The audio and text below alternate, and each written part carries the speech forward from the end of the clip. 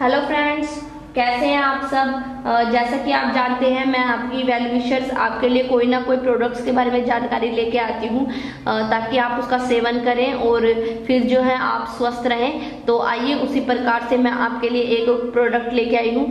ये है दिव्या बलवादी चूरन।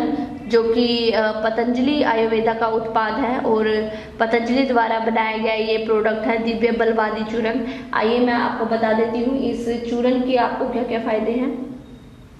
सबसे पहले तो दोस्तों, ये जो दिव्य बलवादी चूरन है, ये एक हर्बल उपचार है।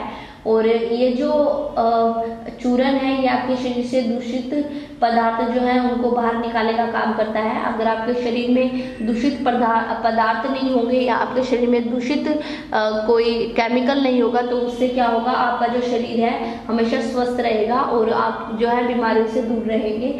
और ये आपके शरीर में एसिड्स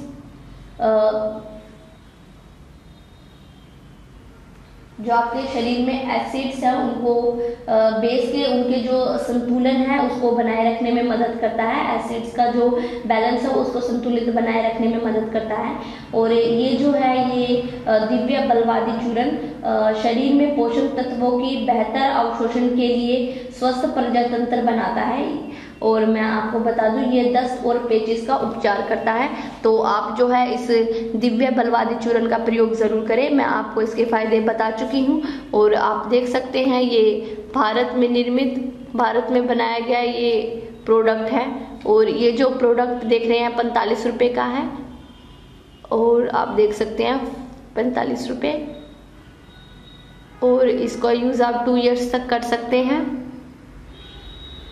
और ये आप जो पैकिंग देख रहे हैं, सौ ग्राम की है, और आप इसका सेवन कैसे कर सकते हैं? इसको आप दो से पाँच ग्राम जो है, खाली पेट गुनगुने पानी के साथ लें, सुबह लें खाली पेट, और फिर चाहे तो आप अपने डॉक्टर से इसके बारे में सलाह ले सकते हैं।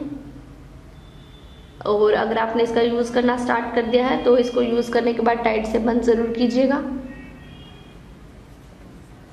आप इस प्रोडक्ट का यूज़ ज़रूर करें। जो पेचिस के रोगी हैं, वो उनके लिए एक रामबाण इलाज है। तो आप जो है इस प्रोडक्ट का यूज़ ज़रूर कीजिए।